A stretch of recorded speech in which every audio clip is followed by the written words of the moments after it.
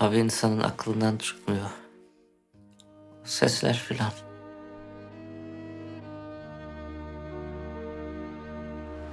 Ankara'da hiç kimsemiz yok. Bir tek siz. Sakın bana iyi davranmayın. Bana iyi davranmayın. Nihal. Kız babası olduk vallahi. Saç okşama eyleminin kendisi biraz karmaşık bir şey değil mi? Çetin'le nasıl tanıştınız? Çetin'le bizimkisi bir başka.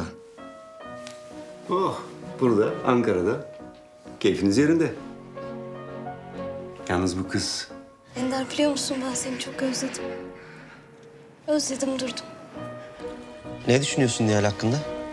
Ayak değişemeyelim diyorum artık etrafa sıçrıyor oğlum. Ya siz erkekler neden böylesiniz? Biz de sizin gibiyiz. Kelebek değiliz, kitap değiliz. Kelebek değiliz. Çetin.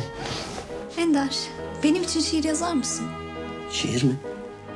Nihal'le yattın mı? Zamanla oluyor ne oluyorsa ya. Çetin, şimdiki Çetin oluyor mesela.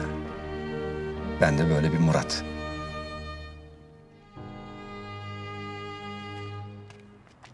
Ender.